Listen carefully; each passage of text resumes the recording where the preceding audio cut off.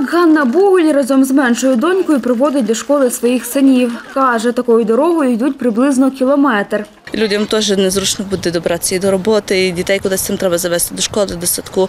І зимою теж дуже тут важко пересуватися, бо дуже гололіт е, з тих горбів на горб дуже важко. Там того року йшов малий, послизнувся, то впав.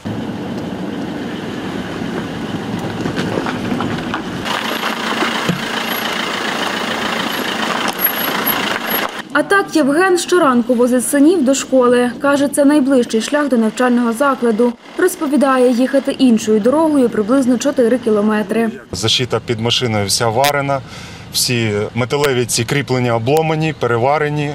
Ну, доводиться ремонтувати. Олена Сівакова також веде дітей до школи. Розповідає, донька Марія в першому класі, син Денис у сьомому. Дітей до школи водити неможливо. Ні до садіку, ні до школи. Більше 30 років їй ще ніхто нічого не робив.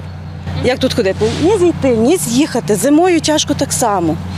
Ніхто нас не чує, щоб її зробити. зимою тяжче. Ця ділянка дороги між вулицями Глибока Долина та Петра Батьківського. Богдан Вайцак живе поблизу. Бачу, як ті жіночки з тими діточками на колясках їдуть в садик. Вони не можуть вести, плачуть догори.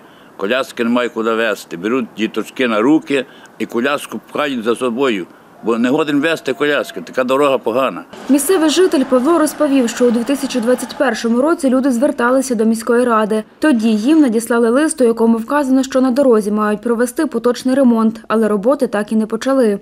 В управлінні житлово-комунального господарства, благоустрою та екології Тернопільської міської ради Суспільному відповіли, що ця ділянка потребує капітального ремонту. Роботи не проводять через воєнний стан.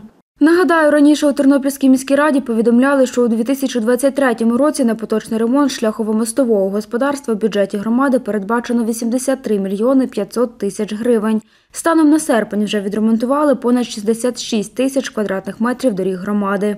Анастасія Кисіль, Андрій Міць, Суспільне новини, Тернопіль.